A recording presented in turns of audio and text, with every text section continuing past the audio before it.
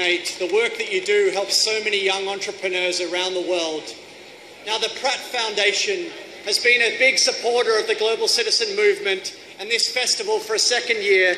I'm delighted to welcome Alex Waislitz to say a few words, ladies and gentlemen. G'day, New York! Yeah, this concert rocks, and so does the cause which has brought us here together.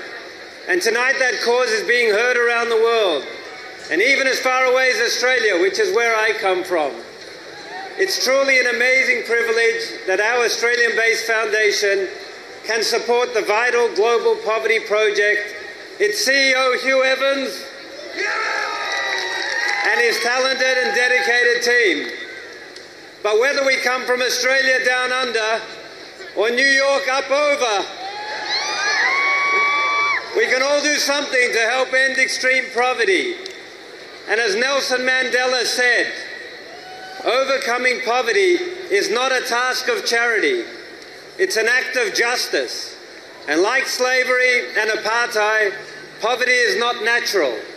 It's man made and can be overcome and can be eradicated by the actions of human beings.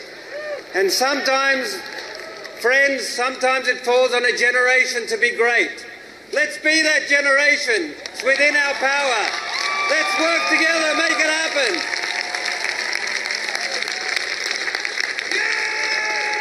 Thank you so much, Alex.